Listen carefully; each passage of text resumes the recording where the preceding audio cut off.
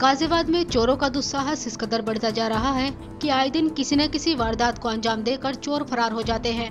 इसी तरह एक बार फिर चोरों ने दिन दहाड़े वारदात को अंजाम दिया है। दरअसल मामला थाना सिहानी गेट क्षेत्र के नंदग्राम इलाके का है, जहाँ स्कूल में बच्चे को लेने आई महिला की स्कूटी पर एक चोर ने हाथ साफ़ कर दिया। महिला स्कूटी स्कूल के बाहर खड़ी कर अंदर से बच्चे को लेने गई थी।